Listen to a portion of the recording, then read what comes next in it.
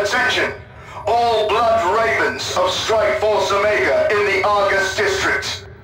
The Ascendant fears investigation and pursuit by those who are less enlightened. He wishes to ensure that all traces of his passing on Calderis are eliminated. As such, Argus settlement is to be razed to the ground. Success will ensure his pursuer's trail shall grow cold and his great plans realized.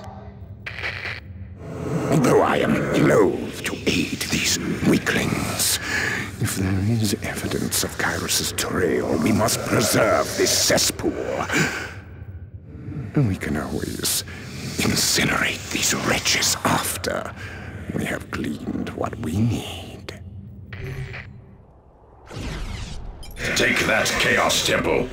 We shall use it to summon the most terrible of our weapons and the most heinous servants of Chaos. I am here to... Sergeant Lysandros, be advised. Enemy forces have been detected inside the settlement. Do not deviate from your mission.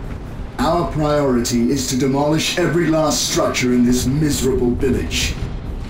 Bring glory to the Dark Gods. Do not presume to comply. Our Havocs have the means to equip lascannons in the field, should we need to obliterate enemy armor. Sergeant Lysandros, come in. We have come under fire. Our mission has been compromised. Stay calm, young brothers. I will deploy heavy support. It will arrive in moments and crush these worms. Like an army of children.